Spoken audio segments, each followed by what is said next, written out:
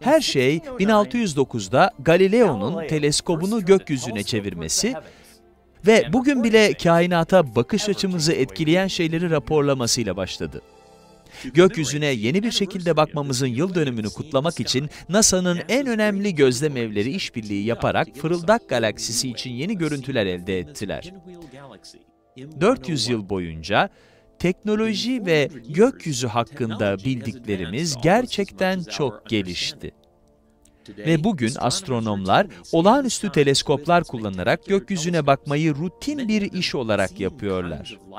Gördükleri bazı ışıkların Galileo varlığından bile haberdar değildi. 1970'lerde Kidd Peak Ulusal Gözlemevi Fırıldak Galaksisini bu şekilde görüntüledi. Detektörlerin gelişmesi ve teleskopların büyümesiyle elde edilen görüntü giderek daha iyi olmaya başladı. Spitzer Uzay Teleskobu, Chandra X ışını gözlemevi ve Hubble Uzay Teleskobu gibi uzayda konumlanmış gözlemevleri ise görmeye alışık olduğumuz objelerin değişik görüntülerini elde etmeye başladılar. Elde edilen görüntüler bir araya getirildiğinde spektrumun üç değişik kısmını yani X ışınları, görülebilir ışık ve kızılötesi ışınları aynı anda görme imkanına sahip olduk.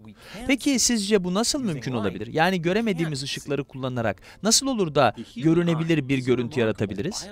Göz, elektromanyetik radyasyonu yani ışığı algılayabilen olağanüstü biyolojik bir aygıttır. Gözün koni biçimindeki reseptörleri, ışık spektrumunun değişik kısımlarını algılayabilecek özelliklere sahiptir. Bunlar kırmızı, yeşil ve mavi olarak adlandırılır. Görünebilir ışık olarak tanımlanan ışık ise bu üçünün değişik kombinasyonlarından meydana gelir. Işık spektrumu tabii ki de gözün algı kapasitesinin çok ama çok üzerindedir. Ve güneş bu aralıktaki en parlak objedir ve bu hiç de şaşırtıcı değil. Milyarlarca yıl süren evrim, insan gözünün güneşin sunduklarından faydalanabilecek şekilde gelişmesini sağlamıştır. İnsanlar daha soğuk ve kırmızı bir yıldızın bulunduğu bir galakside gelişseydi eğer, görünebilir olan ışık bugün bizim kızıl ötesi olarak tanımladığımız aralığa denk gelirdi.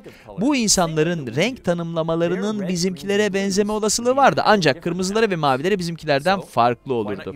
Bu düşünceden yola çıkarak teknolojinin de yardımıyla renklerimizi değiştirmeye başladık.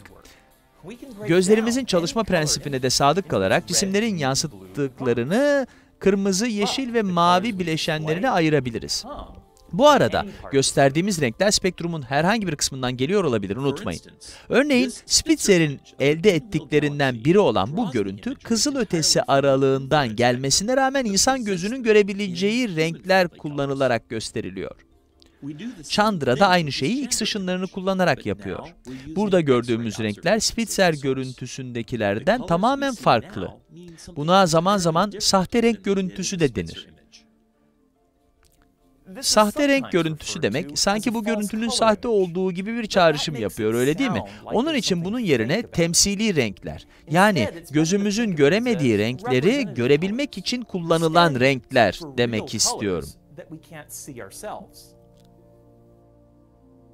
Hubble'ın aldığı bu görüntüdeki renkler ise doğal. Çünkü gözümüzün görebildiği aralıktaki renkleri kullanıyor.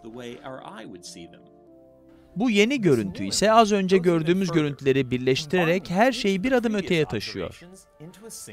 Mavi kısımlar X ışınlarını, kırmızı renkler ise kızılötesi ışınları temsil ediyor. Görülebilir ışık ise yeşil ve kırmızının bir kombinasyonu olan sarıdır.